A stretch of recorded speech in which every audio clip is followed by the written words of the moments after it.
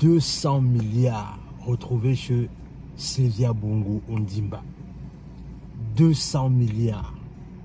Dans cette vidéo, en fait, il est question pour moi un peu d'évoquer un peu ce qu'on aurait pu faire avec cet argent ou encore ce qu'on peut faire avec cet argent qui se retrouve chez une seule personne au niveau du Gabon. Sur ce, on est parti. Salut, moi c'est Warren et bienvenue dans ma chaîne Warren et Asiana. Ici, on parle de développement personnel, on parle d'entrepreneuriat, on parle d'immigration aux États-Unis et on parle aussi de géopolitique. Ce sont des thématiques qui te parlent de choses à faire. La première, tu t'abonnes à la chaîne et tu partages la vidéo autour de toi. La deuxième, tu nous suis à travers nos réseaux sociaux, notamment Facebook et Instagram. Et pour toutes les personnes qui veulent venir étudier aux États-Unis, n'oubliez pas qu'on a monté une entreprise qui s'appelle Nexus Consulting LLC. Elle a pour but en fait d'accompagner les étudiants étrangers à venir étudier aux États-Unis, notamment dans la ville de Nebraska, qui est, une ville assez sécurisée, là où il fait bon d'apprendre et vivre. Donc, si c'est quelque chose qui vous intéresse, n'oubliez pas, allez dans la barre de description, vous cliquez sur notre site afin qu'on puisse vous accompagner dans votre projet de venir étudier aux États-Unis.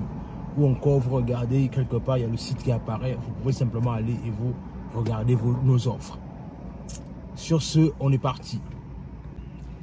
Comme je disais, aujourd'hui, on va parler un peu de, du fait qu'on a, on a retrouvé 200 milliards de francs CFA chez Sylvia Bongo. On se pose la question de savoir comment est-ce qu'une seule personne chez elle va avoir 200 milliards.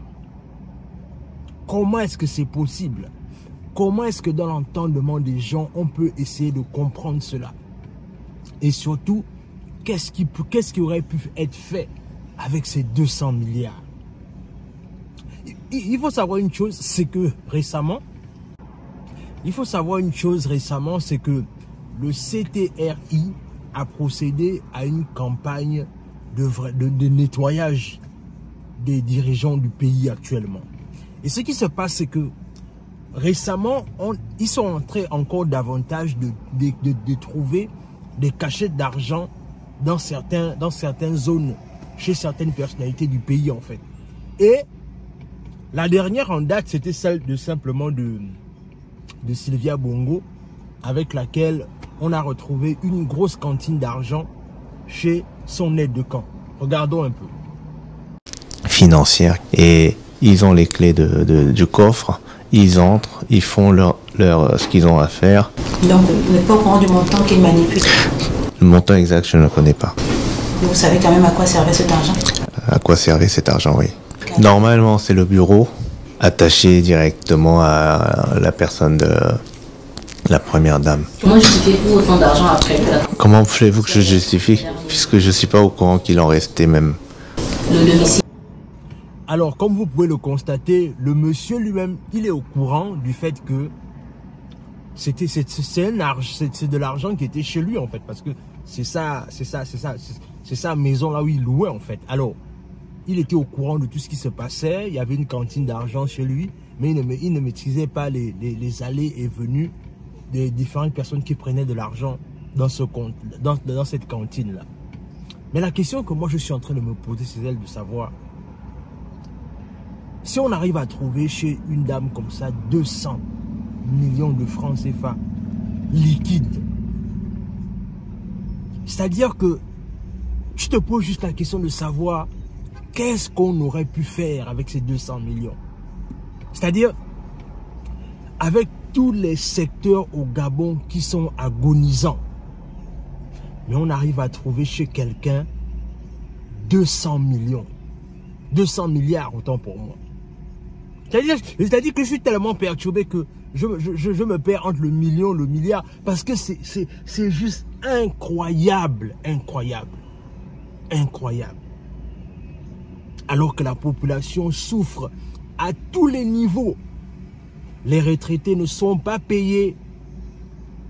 Les hôpitaux sont, sont des mouroirs quand on y va. Parce que la vérité, c'est que quand tu vas à l'hôpital aujourd'hui et que tu es malade, tu es gravement malade, ce qu'on te demande d'abord, c'est que qui va payer qui va signer la décharge. Au lieu de, de s'occuper d'abord du patient, on ne regarde pas ça. Ce qu'on veut d'abord, c'est d'abord encaisser l'argent et voir comment est-ce qu'après, on peut sauver le malade.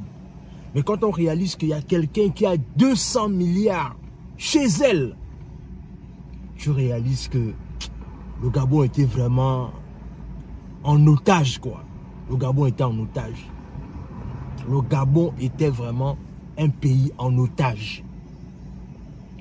En ce sens-là où on voit toutes, toutes ces, toutes ces personnalités-là, notamment la Young Team que j'ai parlé, parlé hier. Si tu n'as pas regardé la vidéo, tu peux aller la regarder juste après celle-ci. Là où je parlais un peu du fait que le, jeune Nouridine était devenu le patron et invétéré de, de, de, de toutes les entrées et les sorties du pays en ce qui concerne l'argent en fait. Donc, en vérité, quand on retrouve dans sa, chez Sylvia Bongo, euh, 200 milliards, c'est juste, c'est juste, c'est juste, les, les, mots même me manquent pour, pour, pour exprimer mon, mon, désarroi en fait. Et récemment, ce qu'elle a fait cette dernière, c'est quoi? C'est-à-dire, déjà elle a porté plainte du fait que voilà, elle est, euh, elle est, euh, elle est, elle est, elle est détenue contre son gré. Elle a, contacté ses avocats en France parce que là maintenant, en fait, elle est, elle est maintenant en train de reconnaître sa nationalité française et qu'elle appelle ses avocats de pouvoir intervenir. Mais alors que quand elle mangeait l'argent du Gabon, quand elle était mariée avec le président du Gabon, il n'y avait pas de nationalité à l'intérieur. Et l'autre chose, l'autre fait en date, c'est que elle a, euh, on va dire ça comment? Elle a décidé d'entamer une grève de la faim. tu te poses la question de savoir une grève de la faim, mais qu'est-ce que ça va apporter en fait? Qu'est-ce que ça va apporter en plus? Et aux dernières, aux dernières nouvelles, on, aurait appris, parce que là je parle au conditionnel, on n'est pas, on pas certain, mais on aurait appris que sa grève de la faim n'a même pas tenu, même pas un jour en fait. Et en vérité, pourquoi est-ce qu'on on, en arrive au niveau là où on peut trouver chez l'ex-femme du président 200 milliards? Vous savez, la plupart du temps, cette dame-là avait, avait tellement de, trucs, des associations bizarres dans lesquelles elle plongeait en fait. Elle avait déjà sa fondation, elle avait euh, la campagne Octobre Rose, c'est-à-dire tous ces paradis fiscaux là qui sont toujours en train de dire que non, oui mais on, fait les trucs pour la santé, ce sont des moyens en fait pour tirer l'argent en fait. Est-ce que vous voyez un peu? C'est-à-dire que normalement, ce qui se passe souvent, c'est que les, les, les, les, ceux qui sont dans les, dans les postes stratégiques dans un pays, souvent, la meilleure façon pour eux d'emmagasiner des fonds sans être, euh, sans être euh, facilement détectable, c'est qu'ils créent, des, ils, créent parfois des sociétés écrans. Et c'est dans ces sociétés écrans-là, en fait, qu'ils ont la permission parfois de prendre des budgets faramineux et justifier cela en disant, voilà, on, est en train de faire ça pour telle ou telle association, pour tel ou tel don, mais alors qu'il n'en était rien, en fait il n'en était strictement rien. Et moi, quelque part, je suis choqué quand je réalise tout ce qu'on peut faire avec 200 milliards de francs CFA. On peut régler le problème des bourses au Gabon. On peut régler le problème des hôpitaux. On peut régler le problème de l'éducation. Il y a tellement de choses qu'on peut faire avec 200 milliards. Mais en vérité, c'est une somme qui appartenait à une seule personne. C'est ça, la stricte réalité du pays dans lequel on se trouvait. Et en vérité, hein, moi, je ne veux, pas, rentrer dans le débat populaire. Moi, je vais rester dans la logique que le président Oligui Nguema, président de la transition, est en train de faire ce qu'il faut. J'ai même envie d'aller plus loin, est en train de faire ce qui n'a jamais été fait en ce qui concerne l'histoire du Gabon. Je répète, il est en train de faire dans l'histoire du Gabon ce qui n'a jamais été fait. Que de nous fatiguer dans les sujets de il va durer combien de temps au pouvoir, quelles sont ses véritables intentions, nous on s'en fout. Honnêtement, nous on s'en fout. Personnellement, moi je m'en fous. Parce que moi, ce qui m'intéresse, ce sont les résultats qu'il est en train de donner sur le terrain.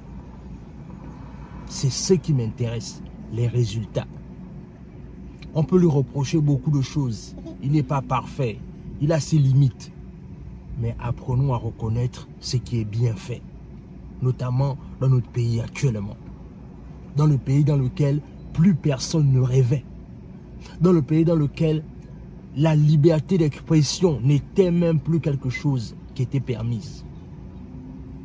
Donc, moi je reste convaincu. Et moi, je soutiens totalement le travail qu'ils sont en train de faire actuellement. Je soutiens cela parce que je reste convaincu que ce sont des choses qui auraient longtemps été faites si on avait des vrais dirigeants. Dans tous les cas, dis-moi ce que cette vidéo t'inspire en commentaire. Abonne-toi à la chaîne, partage la vidéo autour de toi, laisse un like, laisse un commentaire. Et sur ce, on se dit à la prochaine.